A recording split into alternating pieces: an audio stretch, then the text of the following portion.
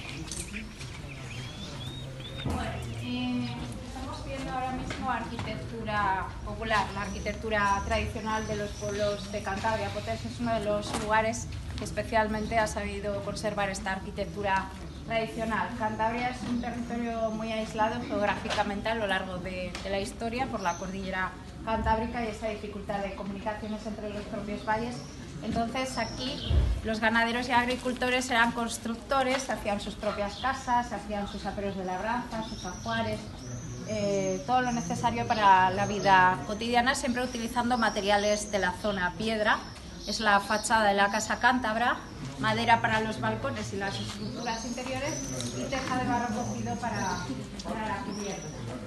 En Cantabria tenemos dos tipologías de casas. La casa de los independientes, es decir, todo bajo el mismo techo, que en la zona oriental el ganado suele estar en la parte baja para darle calor a, la vivienda, pero en esta zona occidental no. En esta zona occidental siempre en la parte baja en los edificios estaba el taller para el trabajo de, de la madera, pues para hacer cestas, carros, aperos de labranza, muebles, albarcas.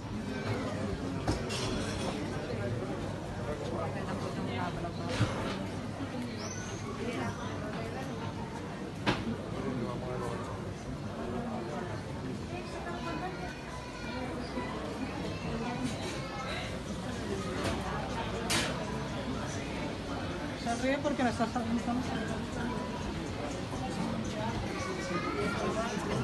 Sí, bueno, pero...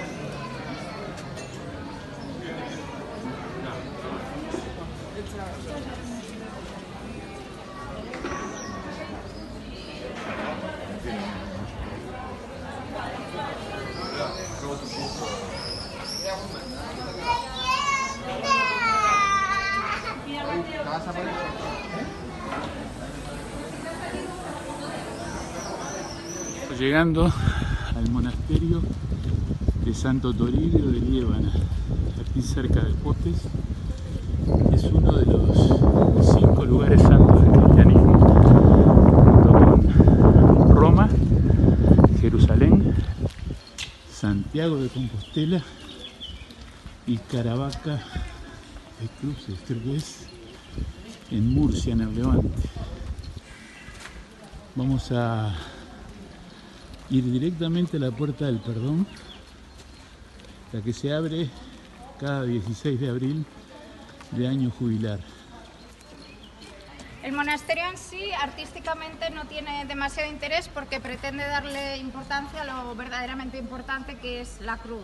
En origen es uno de los monasterios más antiguos de España porque en origen tiene 1500 años y estoy segura de que conocéis muy pocos monasterios de un origen tan antiguo, San Millán de la Cogolla, Santo Toribio de Liébana y poquitos más. La iglesia más antigua que se conserva es por la que vamos a entrar, que es transición del románico al gótico, del siglo XIII. Es una iglesia muy armónica, muy esbelta y muy bonita. Y luego está la capilla del Innum Crucis, que es un barroco colonial. La mandó construir un hombre de aquí de Liébana, que fue arzobispo de Santa Fe de Bogotá. Mandó planos de una capilla que había allí en la Catedral de Santa Fe de Bogotá, en Colombia, que le gustaba, con el dinero para que se hiciera una igual aquí para el Innum Crucis.